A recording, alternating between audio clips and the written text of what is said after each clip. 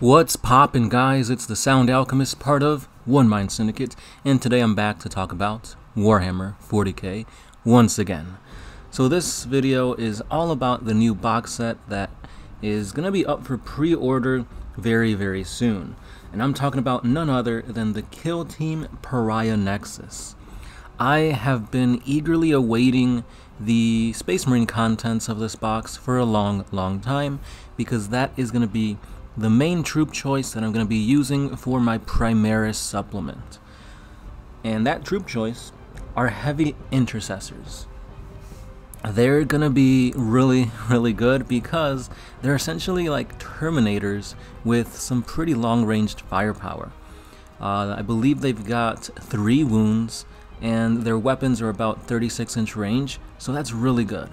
Um, they're going to be pretty survivable, really tanky, and the reason why is because they're donning Gravis armor.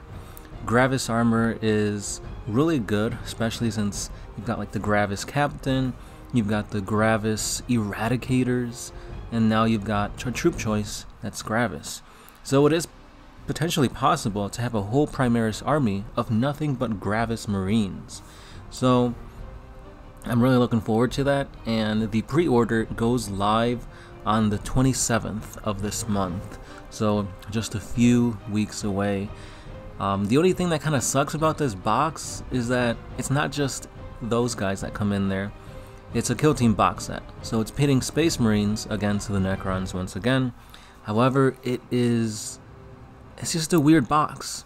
So Gershwin and I and a couple buddies, we were talking about it, and they were saying that this box makes no sense because it comes with a captain with a uh, heavy bolter, I believe, or like a, a, a, a long range weapon.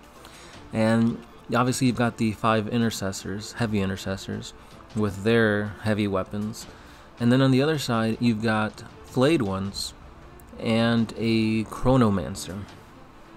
Now, I don't know about you, but the Space Marine side is all about firepower, shooting, while the Necron side is 90% close combat.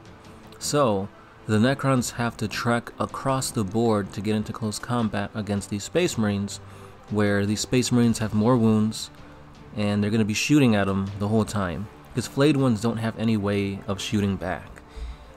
So, how does this make sense?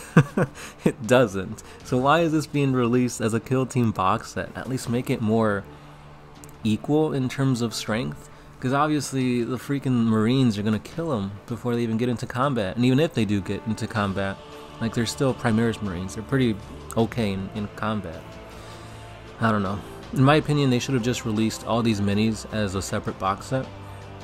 Because honestly, all I want are the heavy intercessors if you guys need filleted ones, um, you're gonna have to buy this box set. Like, come on. Um, if you have a buddy who wants the Necron half, go halfsies on this.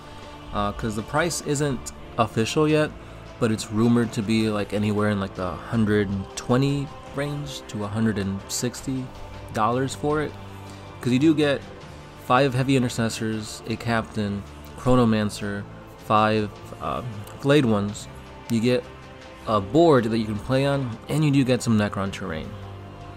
So it's not like you're just playing or paying for the minis, you do get a little bit of terrain, which it's cool, but like, I only want the heavy intercessors. So I don't know if I'm going to be getting this box set. Um, I'll probably just be scouring the eBays for the heavy intercessors, because at the minimum, I need two squads. So I would need at least 10 guys, so that's two boxes. But they're really good, they're really tanky, they're really durable, so I kind of do want to run 10 man squads of these guys. I don't know, we'll see. Depending on what the prices are for this box set, we'll see how it turns out. However, this leads me to a question for you guys is do you like what GW's been doing lately? Releasing box sets that pit Space Marines against another um, enemy, usually Xenos. Like, Gershwin obviously plays orcs, and for the longest time, I know he's had his eye on Ghazghkull Mag Uruk Thraka. But the only way to get this bad boy is to get the box set that pits the orcs against the space wolves, Ragnar and whatnot. And this box set has been pretty hard to find because everybody's getting it for Ghazghkull. And when you do find Ghazghkull on its own, he's almost worth the entire box. So it's like, I'm kind of damned if you do, damned if you don't. Might as well just find the whole box, get Ghazghkull, and then sell everything else off. Um, and they're doing the same thing here with this box set. Like the only way to get these models is to get this whole box. And if you only play Space Marines, then you have no reason to have the Necrons. They did the same thing with, uh, I forgot the name of it, that box set that brought in 9th edition. Like all the models in there were new. Brand new sculpts, some new actual models. And it was really awesome to have the Necrons come out with like the Skorpekh warriors and whatnot. And then you had in, the Indomitus box set. There you go. And then you had like the Space Marine side that was really, really good. And unfortunately, some of these models you can't get separately yet. Um, obviously, they have come out with their own box sets for like a few of them, but not for all of them. So, if you're looking to get your hands on things, it's almost required for you to go on eBay or any other site to try and grab your hands on these.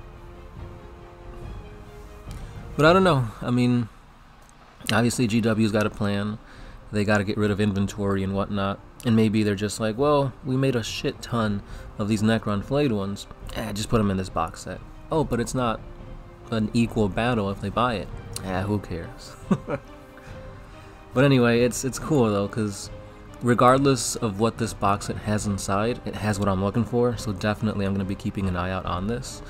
Um, the cool thing about the flayed ones is if they're not good on the tabletop, at least they got good lore. and uh, the lore on them is really, really badass.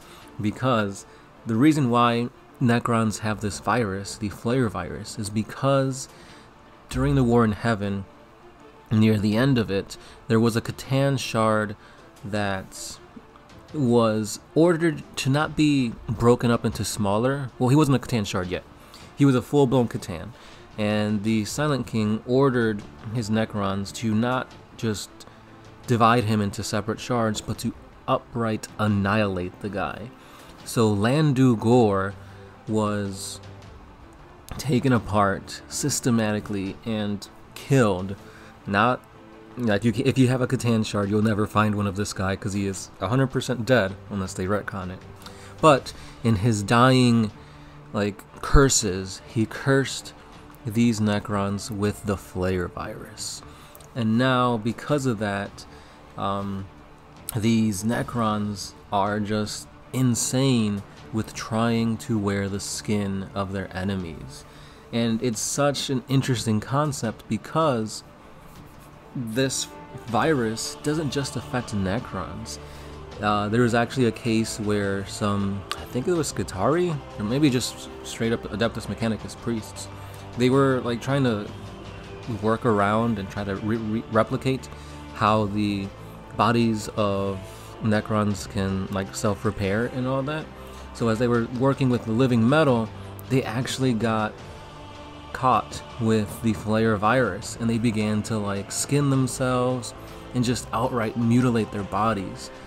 Um, to the point where they actually started praising and venerating Llandu'gor, the C'tan. So it's really, really interesting to see, like, the the, the consequences of killing a C'tan. Maybe after this, that's what sparked the Silent King to say, hey, maybe we shouldn't kill off C'tan, maybe we should just break them apart into smaller, manageable pieces, and then capture them in our Pokeballs. So, just imagine, if one C'tan did this, imagine if they killed all of them, what the ramifications of that would be. That's actually pretty awesome to think about. Like you have the burning one, maybe if you kill the burning one, you, I don't know, spontaneous human combustion or something like that will become more prevalent. Uh, it, it's cool. It's a nice, uh, interesting theory to think about. Like the Void Dragon and the Machine Spirit, what would that do? Create more AI, maybe? I don't know. But it's still fun to theorize, and it's really good lore that you would never even think about just by looking at this box set. It's like, oh yeah, flayed ones, close combat Necrons, that's it. But anyway, I've been rambling on long enough. Um, let me know your thoughts on this. Are you going to be picking up this box set for Kill Team? Will you be scouring eBay to piece it um, apart or get certain pieces? And overall, what are your thoughts on the whole concept of GW doing much more like combinations of factions instead of just single boxes for each uh, faction? I'm curious to see your responses, and I'll be seeing you guys in the next one. Be sure to hit that like button if you enjoyed anything I had to say today. Stay subscribed for more things Warhammer 40k, because we post videos each and every day. This has been The Sound Alchemist, part of One Mind Syndicate, and I'll catch you guys on the next one. Peace.